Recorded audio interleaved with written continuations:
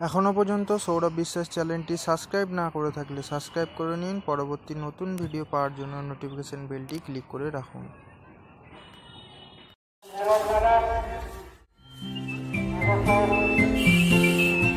সকলে মেলা